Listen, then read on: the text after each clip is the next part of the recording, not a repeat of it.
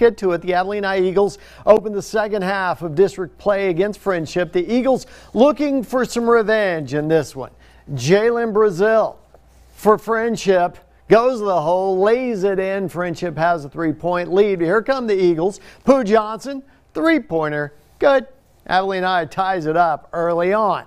Nathan Watts is down on the blocks, working hard. Gets the layup to fall. Abilene High out in front by two. Eagles again. Jeremiah Talib in the wing. Nails the three. 23-17 uh, Abilene High. This was a good one. The Eagles and the Tigers go to two overtimes to settle things. Frenship takes it by four. Abilene High falls to four and three in district play.